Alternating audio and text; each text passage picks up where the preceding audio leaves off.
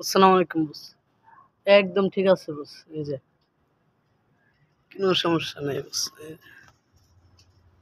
আমার ময়না টিয়া আগুন আসে ভাই করো আমি মান কইর না ওই সোনার সান